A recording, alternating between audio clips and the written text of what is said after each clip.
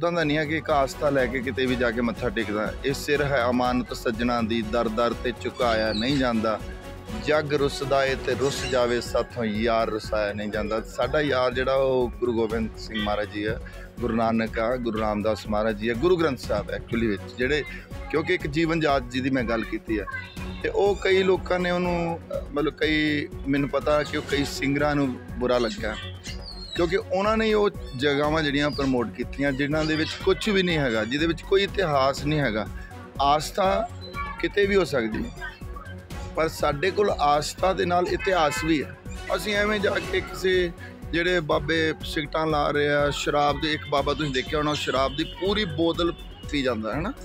ਉਹ ਚਮਤਕਾਰ ਥੋੜੇ ਅਸੀਂ ਦੇਖਣੇ ਆ। ਪਲਾਈਟ ਨਾ ਕਰਨ, ਲੋਕਾਂ ਨੂੰ ਇਹ ਨਾ ਦੱਸਣ ਵੀ ਮਤਲਬ ਬਾਬੇ ਨੇ ਐਦਾਂ ਕਰਕੇ ਇੱਕ ਵਾਰੀ ਜੀ ਸਿਗਰਟ ਲਗਾਤੀ ਸੀਗੀ ਤੇ ਉਹ ਉਹ- ਜਲ ਗਈ ਸੀ, ਹੈਨਾ?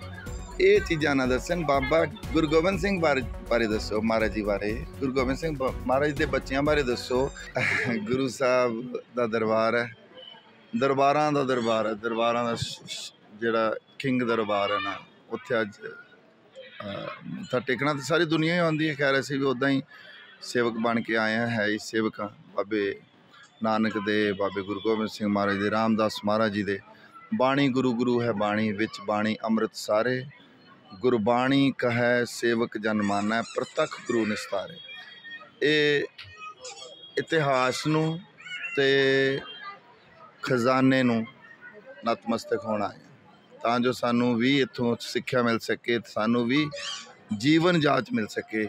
ਜੀਵਨ ਦਾ ਪਤਾ ਲੱਗ ਸਕੇ ਕਿ ਜੀਵਨ ਦੇ ਵਿੱਚ ਹੁੰਦਾ ਕੀ ਕੀ ਹੈ। ਗੁਰੂ ਨਾਨਕ ਸਾਹਿਬ ਦੀਆਂ ਜਿਹੜੀਆਂ ਕਈਆਂ ਲਿਖਤਾਂ ਨੇ, ਗੁਰੂ ਗੋਬਿੰਦ ਸਿੰਘ ਮਹਾਰਾਜ ਦੀਆਂ ਜਿਹੜੀਆਂ ਲਿਖਤਾਂ ਨੇ, ਉਹ ਸਾਡੇ ਮਨ ਵਿੱਚ ਵਸਣ। ਗੁਰੂ ਰਾਮਦਾਸ ਮਹਾਰਾਜ ਦੀਆਂ ਲਿਖਤਾਂ ਨੇ, ਬਾਬੇ ਕਬੀਰ ਦੀਆਂ, ਸ਼ੇਖ ਫਰੀਦ ਜੀ ਜੀ ਦੀਆਂ, ਗੁਰੂ ਰਵਿਦਾਸ ਮਹਾਰਾਜ ਜੀ ਦੀਆਂ, ਉਹ ਲਿਖਤਾਂ ਜਿਹੜੀਆਂ ਉਹ ਮਨ ਵਿੱਚ ਵਸਣ ਤੇ ਅਸੀਂ ਉਦਾਂ ਦੀ ਜੀਵਨ ਜਾਤ ਜਿਹੜੀ ਪ੍ਰੋਸੈਸ ਹੈ ਉਹਦੇ ਵਿੱਚੋਂ ਨਿਕਲ ਸਕੀਏ ਕੋਈ ਤੇ ਤੁਹਾਡਾ ਡੇਰੇ ਤੇ ਜਾ ਕੇ ਕੀ ਕਰਨਾ ਉਹ ਤਾਂ ਮੈਂ ਪਹਿਲਾਂ ਤੋਂ ਹੀ ਐਕਚੁਅਲੀ ਬੋਲਦਾ ਜੀ, ਉਸ ਉਸ ਬਾਰੇ ਮੈਂ 15 ਸਾਲ ਪਹਿਲੇ ਵੀ ਇੱਕ ਮੇਰੀ ਬਹੁਤ ਕਲਿੱਪ ਜਿਹੜੀ ਆ ਵਾਇਰਲ ਹੋਈ ਸੀਗੀ। ਉਹ, ਉੱਥੇ ਮੈਂ ਤਾਂ ਬੋਲਦਾ ਆ, ਉਹਦਾ ਉਹਦਾ ਬਹੁਤ ਵੱਡਾ ਕਾਰਨ ਆ, ਉਹ ਕੋਈ ਇਦਾਂ ਜ਼ਿੱਦ ਨਹੀਂ ਹੈ ਕਿਉਂਕਿ ਮੇਰੇ ਕੋਲ ਇਹ ਖਜ਼ਾਨਾ ਹੈਗਾ, ਮੇਰੇ ਕੋਲ ਮੈਂ, ਮੇਰੇ ਕੋਲ ਭਰਿਆ ਜਿਹੜਾ ਭਾਂਡਾ ਉਹ ਹੈਗਾ। ਮੇਰੇ ਕੋਲ ਇੰਨਾ ਹੀਰੇ, ਮੋਤੀ, ਜਵਾਹਰਾਤ ਜਿਹੜੇ ਖਜ਼ਾਨੇ 'ਚ ਮੈਨੂੰ ਮਿਲਦੇ ਆ। ਮੈਂ ਐਵੇਂ ਖਾਲੀ ਜਾ ਕੇ, ਮੈਂ ਉਦਾਂ ਦਾ ਨਹੀਂ ਆ ਕਿ ਇੱਕ ਆਸਥਾ ਲੈ ਕੇ ਕਿਤੇ ਵੀ ਜਾ ਕੇ ਮੱਥਾ ਟੇਕਦਾ। ਇਹ ਸਿਰ ਹੈ ਅਮਾਨਤ ਸੱਜਣਾ ਦੀ, ਦਰ ਦਰ ਤੇ ਝੁਕਾਇਆ ਨਹੀਂ ਜਾਂਦਾ। ਜੱਗ ਰੁੱਸਦਾ ਏ ਤੇ ਰੁੱਸ ਜਾਵੇ ਸਾਥੋਂ ਯਾਰ ਰਸਾਇਆ ਨਹੀਂ ਜਾਂਦਾ। ਸਾਡਾ ਯਾਰ ਜਿਹੜਾ ਉਹ ਗੁਰੂ ਗੋਬਿੰਦ ਸਿੰਘ ਮਹਾਰਾਜ ਜੀ ਆ, ਗੁਰੂ ਨਾਨਕ ਆ, ਗੁਰੂ ਰਾਮਦਾਸ ਮਹਾਰਾਜ ਜੀ ਆ, ਗੁਰੂ ਗ੍ਰੰਥ ਸਾਹਿਬ ਐਕਚੁਅਲੀ ਵਿੱਚ, ਜਿਹੜੇ ਕਿਉਂਕਿ ਇੱਕ ਜੀਵਨ ਜਾਤ ਜੀ ਦੀ ਮੈਂ ਗੱਲ ਕੀਤੀ ਹੈ ਤੇ ਉਹ ਕਈ ਲੋਕਾਂ ਨੇ ਉਹਨੂੰ, ਮਤਲਬ ਕਈ, ਮੈਨੂੰ ਪਤਾ ਕਿ ਉਹ ਕਈ ਸਿੰਗਰਾਂ ਨੂੰ ਬੁਰਾ ਲੱਗਿਆ। ਕਿਉਂਕਿ ਉਹਨਾਂ ਨੇ ਉਹ ਜਗ੍ਹਾਵਾਂ ਜਿਹੜੀਆਂ ਪ੍ਰਮੋਟ ਕੀਤੀਆਂ, ਜਿਨ੍ਹਾਂ ਦੇ ਵਿੱਚ ਕੁਝ ਵੀ ਨਹੀਂ ਹੈਗਾ, ਜਿਹਦੇ ਵਿੱਚ ਕੋਈ ਇਤਿਹਾਸ ਨਹੀਂ ਹੈਗਾ, ਆਸਥਾ ਕਿਤੇ ਵੀ ਹੋ ਸਕਦੀ ਹੈ। ਪਰ ਸਾਡੇ ਕੋਲ ਆਸਥਾ ਦੇ ਨਾਲ ਇਤਿਹਾਸ ਵੀ ਹੈ। ਅਸੀਂ ਆਸਥਾ ਜਿਹੜੀ ਹੈ, ਉਹ ਇਤਿਹਾਸ ਦੇ ਨਾਲ ਜੋੜ ਕੇ ਰੱਖਣੀ ਹੈ। ਗੁਰੂ ਗੋਬਿੰਦ ਸਿੰਘ ਮਹਾਰਾਜ ਜੀ ਨੇ ਦੇਖੋ ਨਾ, ਗੁਰੂ ਤੇਗ ਬਹਾਦਰ ਮਹਾਰਾਜ ਜੀ ਨੂੰ ਦੇਖ ਲਓ ਬੰਦਾ ਬਹਾਦਰ ਸਾਹਿਬ ਨੂੰ ਦੇਖ ਲਓ, ਹਨਾ? ਈਵਨ ਭਗਤ ਸਿੰਘ ਉਹਨਾਂ ਨੂੰ ਦੇਖ ਲਓ ਤੇ ਸ਼ਹੀਦ ਉਦਮ ਸਿੰਘ ਉਹਨਾਂ ਨੂੰ ਦੇਖ ਲਓ। ਸਾਡੇ ਕੋਲ ਇਤਿਹਾਸ ਹੈ। ਅਸੀਂ ਐਵੇਂ ਜਾ ਕੇ ਕਿਸੇ ਜਿਹੜੇ ਬਾਬੇ ਸਿਗਟਾਂ ਲਾ ਰਹੇ ਆ, ਸ਼ਰਾਬ ਦੇ ਇੱਕ ਬਾਬਾ ਤੁਸੀਂ ਦੇਖਿਆ ਹੋਣਾ, ਸ਼ਰਾਬ ਦੀ ਪੂਰੀ ਬੋਤਲ ਪੀ ਜਾਂਦਾ ਹੈ ਨਾ ਉਹ ਚਮਤਕਾਰ ਥੋੜੇ ਅਸੀਂ ਦੇਖਣੇ ਆ। ਔਰ ਦੂਸਰਾ ਜਿਹੜਾ ਸਾਡਾ ਇਹ ਖਜ਼ਾਨਾ ਨਾ, ਇਹ ਸਿਰਫ ਇਹ ਨਹੀਂ ਹੈ ਕਿ ਪੁੱਤ ਮੰਗਣ ਦਾ ਖਜ਼ਾਨਾ ਨਹੀਂ ਹੈ, ਇਹ ਜੀਵਨ ਜਾਚ ਦਾ ਖਜ਼ਾਨਾ ਹੈ। ਗੁਰੂ ਗੋਬਿੰਦ ਸਿੰਘ ਮਹਾਰਾਜ ਜੀ ਜਿਹੜੇ ਉਹ ਸਾਨੂੰ ਜੀਵਨ ਜਾਚ ਸਿਖਾ ਕੇ ਗਏ ਆ ਉਹਨਾਂ ਨੇ ਕਿਹਾ ਨਾ ਮਾਨਸ ਕੀ ਜਾਤ ਸਭ ਹੈ ਇੱਕ ਪਹਿਚਾਨ ਉਹ ਜਾਂ ਅਵਲ ਅੱਲਾ ਨੂਰ ਉਪਾਇਆ ਕੁਦਰਤ ਕੇ ਸਭ ਬੰਦੇ ਏਕ ਨੂਰ ਤੇ ਸਭ ਜਗ ਉਪਜਿਆ ਕੌਣ ਭਲੇ ਕੋ ਮੰਦੇ ਤੇ ਮੈਂ ਸਿੰਗਰਾਂ ਨੂੰ ਬੇਨਤੀ ਕਰਦਾ ਉਹ ਜਿਹੜੇ 2-300 ਸਿੰਗਰਾਂ ਨੂੰ ਵਾਸਤੇ ਹੀ ਬੁਰਾ ਹੈ ਜਿਹੜਾ ਮੇਰਾ ਪਰ ਉਹ ਪੰਜਾਬ ਵਾਸਤੇ ਜਾਂ ਦੇਸ਼ ਵਾਸਤੇ ਬੁਰਾ ਨਹੀਂ ਹੈ ਉਹ ਕਿਉਂਕਿ ਜਦੋਂ ਨਸ਼ਾ ਕਿਸੇ ਦੇ ਵੀ ਬੱਚੇ ਨੇ ਦੇਖਣਾ ਉੱਥੇ ਕਰਦਿਆਂ ਉਹਨਾਂ ਨੂੰ ਸਿਗਟਾਂ ਪੀਂਦਿਆਂ ਦੇਖਣਾ। ਮੈਨੂੰ ਮੈਨੂੰ ਤਾਂ ਕਹਿੰਦਿਆਂ ਵੀ ਸ਼ਰਮ ਆ ਰਹੀ ਜੇ ਮੈਂ ਕਹਾਂਗਾ ਤੇ ਹੋ ਸਕਦਾ ਇੱਕ ਦੋ ਬੰਦੇ ਉਹ ਟਰਾਈ ਨਾ ਕਿਤੇ ਕਰ ਲੈਣ। ਇਹ ਵੀ ਮਤਲਬ ਇੱਕ ਮਰਿਆਦਾ ਵਾਲੀ ਗੱਲ ਹੈ ਕਿ ਉਹਨੂੰ ਨਹੀਂ ਕਹਿਣਾ ਚਾਹੀਦਾ। ਰਿਸਟ੍ਰਿਕਸ਼ਨ ਵਾਲੀ ਗੱਲ ਹੈ। ਤੇ ਜੇਕਰ ਉਹਦੇ ਵਿੱਚੋਂ ਲੋਕਾਂ ਨੇ ਜਦੋਂ ਦੇਖਣਾ, ਉਹਨਾਂ ਨੇ ਉਦਾਂ ਕਰਨਾ, ਤੇ ਜਦੋਂ ਨਸ਼ਾ ਭਾਜੀ ਹੋਣਾ ਨਾ ਉਹਨੇ ਕੁਝ ਨਹੀਂ ਦੇਖਣਾ ਵੀ ਇਹ ਸਿੱਖ ਦਾ ਬੱਚਾ, ਕਿ ਮੁਸਲਮਾਨ ਦਾ ਬੱਚਾ, ਹਿੰਦੂ ਦਾ ਬੱਚਾ, ਜੈਨੀਆਂ ਦਾ ਬੱਚਾ ਕਿ ਜਾਂ ਕ੍ਰਿਸਚਨਾਂ ਦਾ ਬੱਚਾ, ਉਹਨੇ ਤਾਂ ਉਹਦੀ ਬਰਬਾਦੀ ਕਰਨੀ ਹੀ ਕਰਨੀ।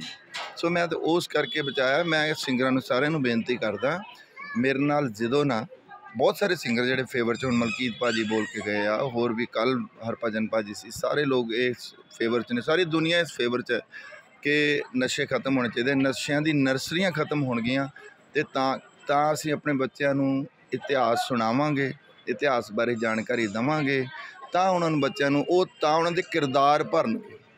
ਖਾਲੀ ਕਿਰਦਾਰ ਅਸੀਂ ਸਿਰਫ ਉੱਥੇ ਹੀ ਬਾਰੇ ਕੀ ਦੱਸਾਂਗੇ? ਮੈਂ ਇਕੱਲੇ ਪਾਰਟਿਕੂਲਰ ਇੱਕ ਦਰਬਾਰ ਦੀ ਗੱਲ ਨਹੀਂ ਕਰਦਾ ਜਿਨ੍ਹਾਂ ਨੂੰ ਇਹਨਾਂ ਨੇ ਧਾਮ ਬਣਾਤਾ। ਮੈਂ ਸਿਰਫ, ਮੈਂ ਸਾਰੇ ਦਰਬਾਰਾਂ ਦੀ ਗੱਲ ਕਰਦਾ ਵੀ ਉਹਦਾ ਇਤਿਹਾਸ ਕੀ ਦੱਸੋਗੇ ਅੱਜ ਤੋਂ 5 ਸਾਲ ਬਾਅਦ ਕੀ ਦੱਸੋਗੇ ਤੁਸੀਂ ਕਿ ਤੁਹਾਡਾ ਕੀ ਇਤਿਹਾਸ ਹੈ? ਉਸ ਬਾਬੇ ਦਾ ਕੀ ਇਤਿਹਾਸ ਹੈ? ਲੋਕਾਂ ਨੇ ਤੇ ਵਿਚਾਰਿਆਂ ਮੰਨਣ ਲੱਗ ਜਾਣਾ, ਲੋਕਾਂ ਨੂੰ ਤੇ ਜਦੋਂ ਆਪਾਂ ਕਿਸੇ ਨੂੰ ਹੁਣ ਮੈਂ ਇਹ ਸਰਬਜੀਤ ਭਾਜੀ ਹੁਣੀ ਆਏ ਨੇ, ਤੁਸੀਂ ਹੋ, ਜਦੋਂ ਤੁਸੀਂ ਮੇਰੇ ਨਾਲ ਪਿਆਰ ਕਰਦੇ ਹੋ, ਮੈਂ ਤੁਹਾਨੂੰ ਕਹਣਾ, ਆਓ ਜੀ, ਮੈਨੂੰ ਉੱਥੋਂ ਇਹ ਦਾਤ ਮਿਲੀ ਹੈ ਤੇ ਆਪਾਂ ਚੱਲਦੇ ਹਾਂ, ਤੁਸੀਂ ਚੱਲ ਪੈਣਾ ਉੱਥੋਂ, ਹਨਾ? ਤੇ ਐਕਸਪਲੋਇਟ ਨਾ ਕਰਨ, ਲੋਕਾਂ ਨੂੰ ਇਹ ਨਾ ਦੱਸਣ ਵੀ ਮਤਲਬ ਬਾਬੇ ਨੇ ਐਦਾਂ ਕਰਕੇ ਇੱਕ ਵਾਰੀ ਜੀ ਸਿਗਰਟ ਲਗਾਤੀ ਸੀਗੀ ਤੇ ਉਹ ਉਹ ਜਲ ਗਈ ਸੀ, ਹਨਾ?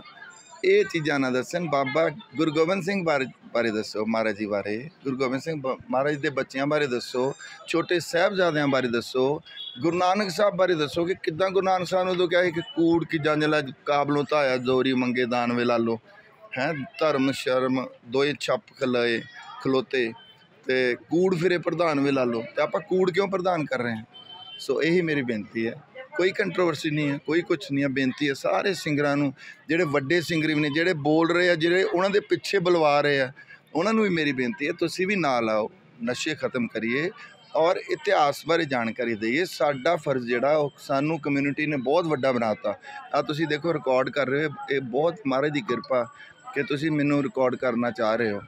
ਇਹ ਲੋਕਾਂ ਦੀ ਕਿਰਪਾ ਇਨਹੀ ਕੀ ਕਿਰਪਾ ਸੇ ਸਜੇ ਹਮੇ ਜੋ ਗੁਰੂ ਗੋਬਿੰਦ ਸਿੰਘ ਮਹਾਰਾਜ ਨੇ ਕਿਹਾ ਸੋ ਆਓ ਆਓ ਲੋਕਾਂ ਨੂੰ ਇਤਿਹਾਸ ਪੜ੍ਹਾਈਏ ਲੋਕਾਂ ਨੂੰ ਇਤਿਹਾਸ ਬਾਰੇ ਜਾਣਕਾਰੀ ਦਈਏ। ਭਾਵੇਂ ਸਾਨੂੰ ਥੋੜੀ ਆਉਂਦੀ ਹੈ ਅਸੀਂ ਗੁਰੂ ਨਹੀਂ ਆ ਅਸੀਂ ਕੋਈ ਸਾਧੂ ਨਹੀਂ ਆ ਪਰ ਜਿੰਨੀ ਵੀ ਸਾਨੂੰ ਆਉਂਦੀ ਹੈ ਉਹ ਅਸੀਂ ਲੋਕਾਂ ਬਾਰੇ ਲੋਕਾਂ ਤੱਕ ਪਹੁੰਚਾਈਏ। ਸਿੱਖੀ ਦਾ ਪ੍ਰਚਾਰ ਵੀ ਕਾਫੀ ਕੀਤਾ ਹੈ। ਕੋਈ ਸ਼ਬਦ ਆਪਣਾ ਕੋਈ ਨਵਾਂ ਸ਼ਬਦ ਕੀਤਾ ਨਾ ਸਿੱਖੀ ਦਾ ਤੇ ਮਤਲਬ ਮੈਂ ਨਹੀਂ ਕਹਿ ਸਕਦਾ ਵੀ ਮੈਂ ਪ੍ਰਚਾਰ ਜ਼ਿਆਦਾ ਕੀਤਾ ਪਰ ਕਿਉਂਕਿ ਮੈਂ ਸਿੱਖ ਘਰ 'ਚ ਜਨਮ ਲਿਆ ਨਾ ਸਿੱਖਾਂ ਦੇ ਘਰ 'ਚ ਜਨਮ ਲਿਆ ਤੇ ਇਸ ਕਰਕੇ ਮੈਨੂੰ ਮੇਰੇ ਬਚਪਨ ਦੀ ਉਹ ਇੱਕ ਗੱਲ ਤੁਸੀਂ ਬਹੁਤ ਅੱਛੀ ਛੇੜੀ ਹੈ। ਕਿ ਮੇਰੇ ਬਚਪਨ 'ਚ ਉਹ ਭਾਈ ਤਰਲੋਚਨ ਸਿੰਘ ਹੋਣਾ ਦਾ ਜਪਜੀ ਸਾਹਿਬ ਤੇ ਰਹਿ ਰਾਸ ਹੈ। ਹੈਨਾ, ਹੁਣ ਜਦੋਂ ਤੁਸੀਂ ਆਪਣੇ ਬੱਚੇ ਜਿਹੜੇ ਸਾਡੇ ਛੋਟੇ ਬੱਚੇ ਆ, ਉਹ ਜਦੋਂ ਸਿਗਟਾਂ ਵਾਲੇ ਬਾਬਿਆਂ ਨੂੰ ਦੇਖਣਗੇ, ਚਿਲਮਾਂ ਵਾਲੇ ਬਾਬਿਆਂ ਨੂੰ ਦੇਖਣਗੇ, ਸੂਟੇ ਲਾਉਂਦੇ ਬਾਬਿਆਂ ਨੂੰ ਦੇਖਣਗੇ, ਤਾਂ ਉਹਨਾਂ ਨੂੰ ਉਹ ਯਾਦ ਰਹਿਣਾ। ਮੈਨੂੰ ਪਿੰਡ ਦੇ ਗੁਰਦੁਆਰਾ ਸਾਹਿਬ ਦੇ ਜਿਹੜਾ ਜਪਜੀ ਸਾਹਿਬ ਆ, ਉਹ ਯਾਦ ਆਉਂਦਾ। ਤੇ ਮੈਂ ਤੇ ਬਹੁਤ ਸ਼ਬਦ ਮਹਾਰਾਜ ਮੇਰੇ ਕੋ ਬਾਬਾ ਜੀ ਕਰਾਉਣਗੇ। ਬਹੁਤ ਸਾਰੇ ਸ਼ਬਦ ਅਸੀਂ ਕਰਨ ਵਾਲੇ ਹਾਂ ਹੁਣ ਗੁਰੂ ਨਾਨਕ ਸਾਹਿਬ ਦੇ ਉੱਤੇ ਵੀ ਅਸੀਂ ਸਿੱਧ ਗੋਸ਼ਟ ਵੀ ਰਿਲੀਜ਼ ਕਰ ਰਹੇ ਹਾਂ ਆਰਤੀ ਵੀ ਰਿਲੀਜ਼ ਕਰ ਰਹੇ ਹਾਂ ਤੇ ਅਵਲ ਅੱਲਾ, ਨੂਰ ਪਾਇਆ, ਕੁਦਰਤ ਕੇ ਸਬੰਦੇ ਉਹ ਵੀ ਖਜ਼ਾਨਾ ਹੀ ਹੈ ਤੇ ਖਜ਼ਾਨਾ ਸਾਰੀ ਉਮਰੇ ਮੁੱਕਣਾ ਹੀ ਨਹੀਂ ਹੈ, ਦੁਨੀਆ ਨੇ ਗਾਉਂਦੇ ਰਹਿਣਾ ਦੁਨੀਆ ਨੇ ਜਾਂਦੇ ਰਹਿਣਾ, ਆਉਂਦੇ ਰਹਿਣਾ, ਇਹੀ ਤੇ ਗੁਰੂ ਸਾਹਿਬ ਦੀ ਸਭ ਤੋਂ ਵੱਡੀ ਦੇਣ ਹੈ। ਅੱਜ এনवायरमेंट ਦੀ ਅਸੀਂ ਗੱਲ ਕਰਦੇ ਹਾਂ, ਸਾਰੀ ਦੁਨੀਆ ਜਿਹੜੀ এনवायरमेंट ਦੀ ਗੱਲ ਕਰ ਰਹੀ ਹੈ, ਬਾਬਾ ਨਾਨਕ 500 ਸਾਲ ਪਹਿਲੇ ਹੀ ਬਲਿਹਾਰੀ ਕੁਦਰਤ ਵਸਿਆ ਤੇ ਰਾਂਤ ਨਾ ਜਾਈ ਲਖਿਆ। ਇੱਕ ਦਿਨ ਮੈਂ ਇੱਕ ਆਪਣੇ ਆਪਣੇ ਅਫਸਰਾਂ ਨੂੰ ਵੀ ਸਾਰਿਆਂ ਨੂੰ, ਸਰਕਾਰੀ ਬੰਦਿਆਂ ਨੂੰ ਮੈਂ ਭੇਜਿਆ ਸੀ। ਮੈਂ ਕਿਹਾ, ਦੇਖੋ, ਨਾਰਵੇ ਦੇ ਵਿੱਚ, ਮੈਂ ਕਿਹਾ, ਇਹ ਬਾਬੇ ਨਾਨਕ ਦੇ ਚੇਲੇ ਇਹ ਨੇ ਸਾਰੇ, ਜਿਹੜੇ ਪਾਣੀ ਵੀ ਸਾਂਭੀ ਫਿਰਦੇ ਆ ਤੇ ਪਵਨ ਵੀ ਸਾਂਭੀ ਫਿਰਦੇ ਆ ਤੇ ਧਰਤੀ ਵੀ ਸਾਂਭੀ ਫਿਰਦੇ ਉਹਦਾ ਮੈਂ ਤੁਹਾਨੂੰ ਥੋੜੀਆਂ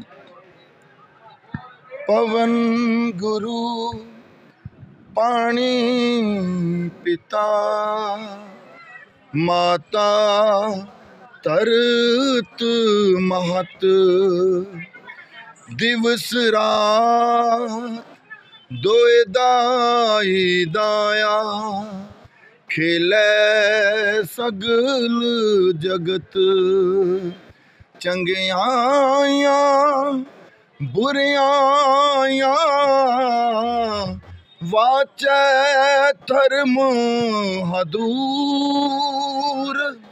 ਕਰਮੀ ਆਪੋ ਆਪਣੀ ਕੇ ਨੇੜੇ ਕੈ ਦੂਰ।